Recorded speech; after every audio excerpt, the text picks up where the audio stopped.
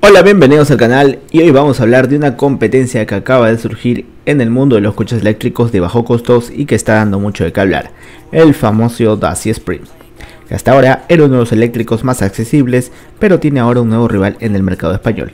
Hablamos del Leap Motor T03 que ofrece unas prestaciones muy interesantes por un precio apenas superior. Para empezar, el Dacia Spring es un viejo conocido del mundo de los eléctricos asequibles. Básicamente es un coche que muchos ya ven como la opción ideal para desplazamientos urbanos y trayectos cortos. Con su diseño compacto y económico, hasta ahora se mantenía sin rival. No obstante, el e-Motor T03, que ya está disponible en España, viene dispuesto a desafiar esa hegemonía, destacando en varios aspectos clave como la potencia y la autonomía. Primero, hablemos de las diferencias que existe entre el Dacia Spring y el e-Motor T03. El tamaño y el espacio son diferentes, ya que el Dacia Spring mide unos 3,73 metros de largo y posee una capacidad de maletero bastante decente para su categoría, unos 270 litros.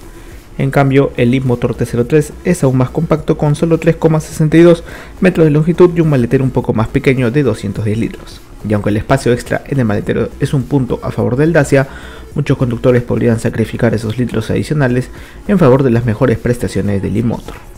Hablemos ahora de lo que realmente destaca en el Leap Motor T03, su potencia y autonomía. El Dacia Spring cuenta con dos versiones de motor, una de 45 cb y otra de 65 cb.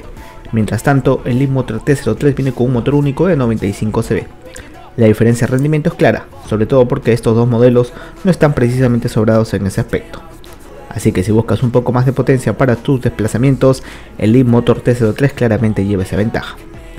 En cuanto a la autonomía, el e-motor T03 viene equipado con una batería de 37,3 kW que le permite recorrer hasta 265 km con una sola carga, mientras que el Dacia Spring con su batería de 27 kW tiene un alcance máximo de 228 km.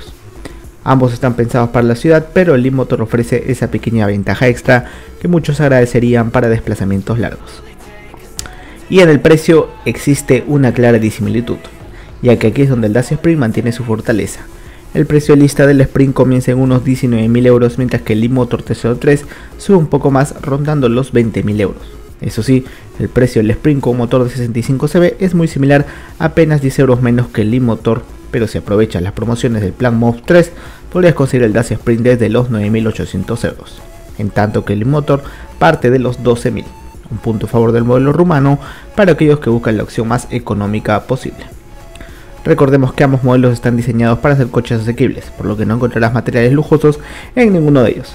No obstante, el e-motor TC03 tiene algo de ventaja en cuanto a equipamiento multimedia. Incluye algunas características tecnológicas que lo hacen un poco más moderno y funcional, especialmente en lo que respecta a la conectividad y opciones de infoentretenimiento, algo que podría atraer a quienes busquen un coche urbano con algo más de tecnología.